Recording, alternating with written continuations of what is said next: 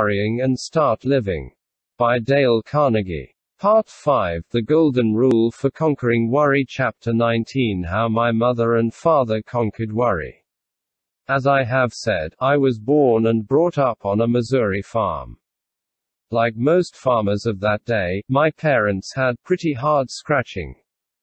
My mother had been a country schoolteacher and my father had been a farmhand working for $12 a month. Mother made not only my clothes, but also the soap with which we washed our clothes. We rarely had any cash except once a year when we sold our hogs. We traded our butter and eggs at the grocery store for flour, sugar, coffee.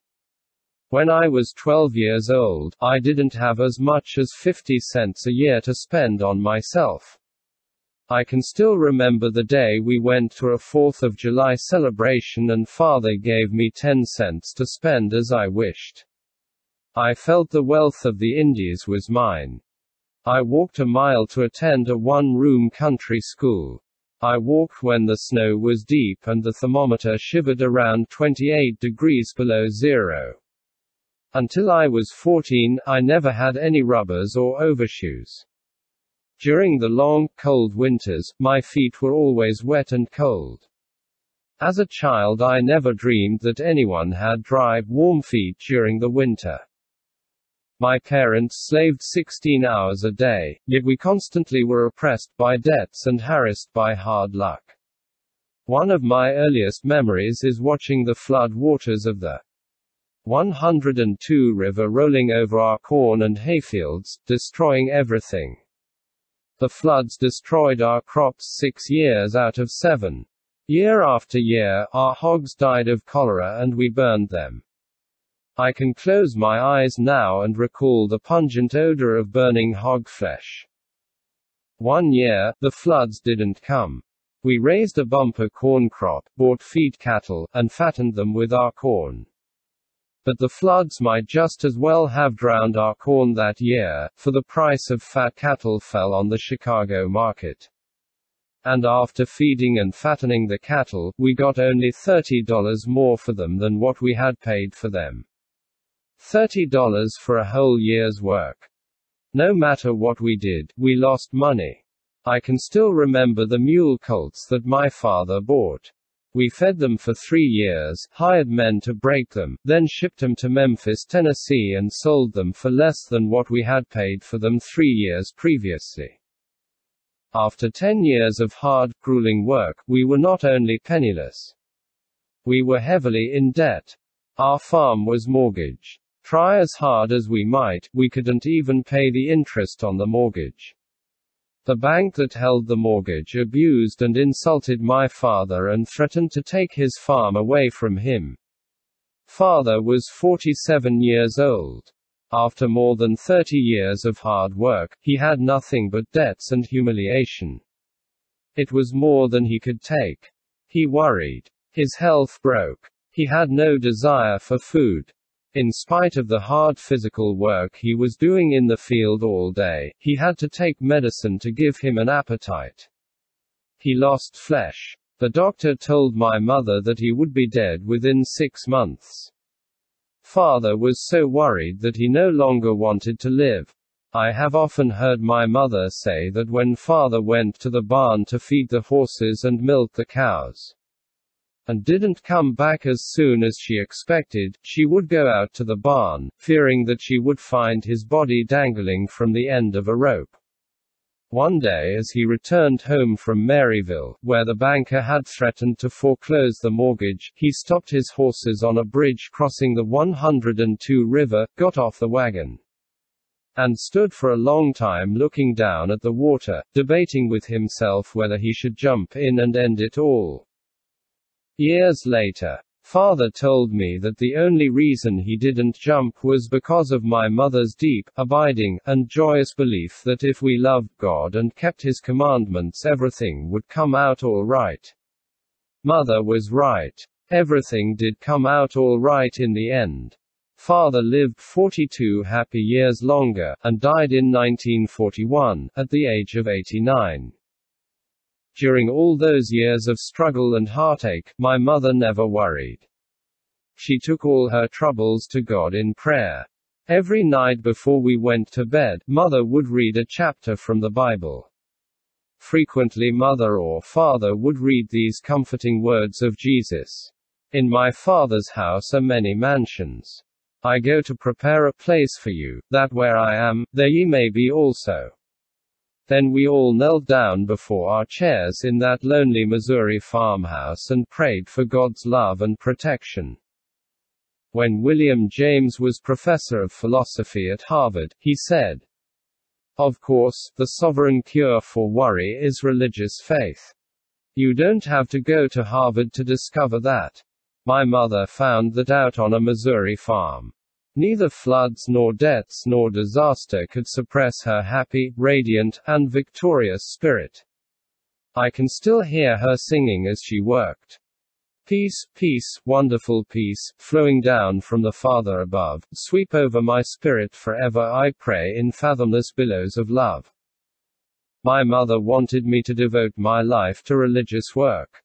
I thought seriously of becoming a foreign missionary. Then I went away to college.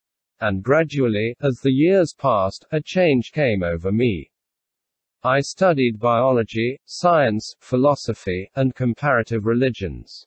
I read books on how the Bible was written. I began to question many of its assertions. I began to doubt many of the narrow doctrines taught by the country preachers of that day. I was bewildered. Like Walt Whitman, I felt curious, abrupt questionings stir within me. I didn't know what to believe. I saw no purpose in life. I stopped praying. I became an agnostic. I believed that all life was planless and aimless.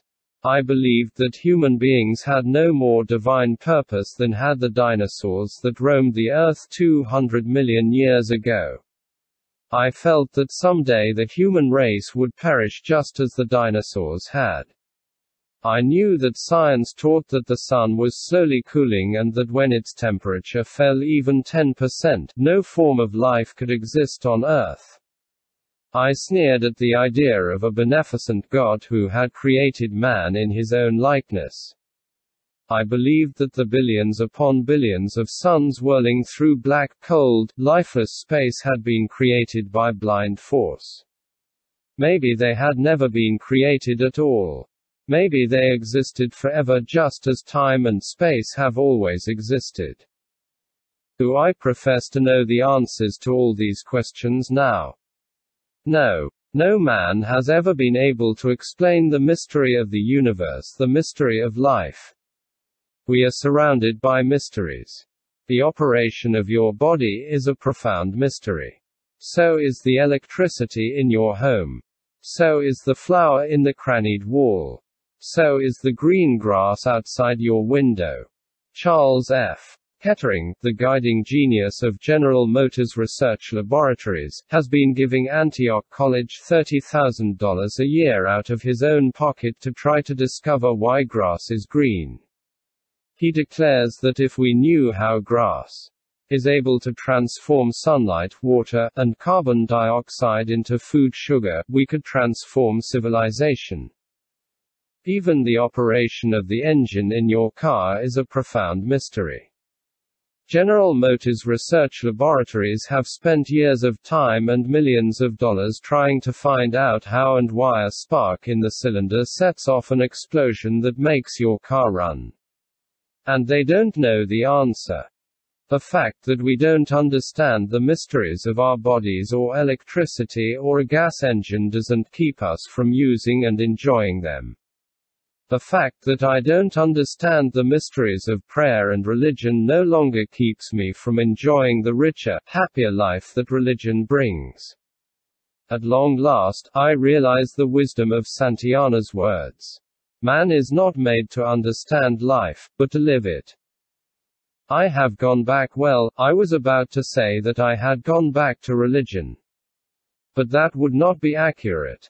I have gone forward to a new concept of religion. I no longer have the faintest interest in the differences in creeds that divide the churches. But I am tremendously interested in what religion does for me, just as I am interested in what electricity and good food and water do for me. They help me to lead a richer, fuller, happier life.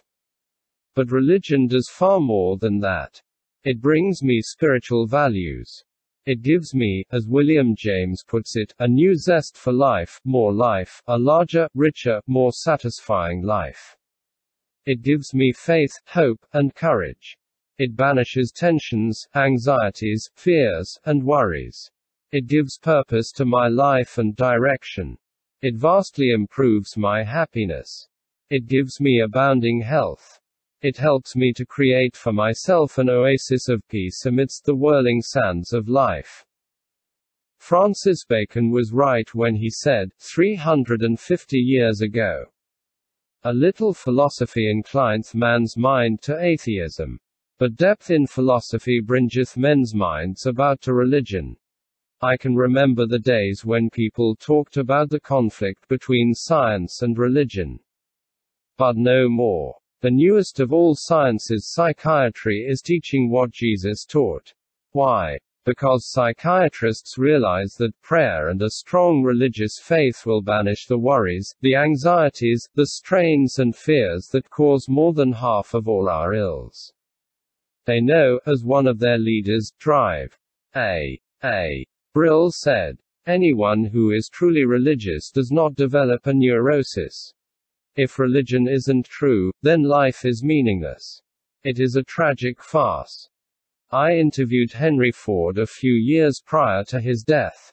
Before I met him, I had expected him to show the strains of the long years he had spent in building up and managing one of the world's greatest businesses. So I was surprised to how calm and well and peaceful he looked at 78. When I asked him if he ever worried, he replied, no. I believe God is managing affairs and that He doesn't need any advice from me. With God in charge, I believe that everything will work out for the best in the end. So, what is there to worry about? Today, even psychiatrists are becoming modern evangelists. They are not urging us to lead religious lives to avoid hell fires in the next world but they are urging us to lead religious lives to avoid the hell fires of this world, the hell fires of stomach ulcer, angina pectoris, nervous breakdowns, and insanity. As an example of what our psychologists and psychiatrists are teaching, read The Return to Religion by Dr. Henry C. Link. You will probably find a copy in your public library. Yes, the Christian religion is an inspiring, health-giving activity. Jesus said, I came that ye might have life and have it more abundantly. Jesus denounced and attacked the dry forms and